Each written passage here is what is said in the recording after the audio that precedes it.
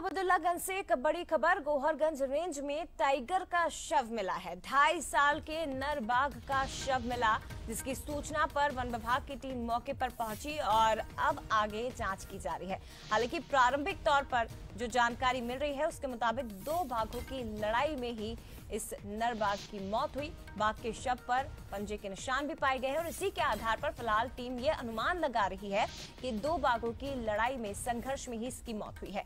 One मंडल उबेदुल्लागंज के Goharganj range की घटना फ़िलहाल एसडीओ जो है, वन विभाग के वो मौके पर पहुँच गए हैं और आगे जाँच भी की जा रही है। कल इसकी सूचना शाम को मिली थी तो हमने अपना स्टाफ आ गया था और हमने देखा था तो ये बाघ है इसकी, नर बाघ है, ढाई से तीन साल की उम्र है इसकी।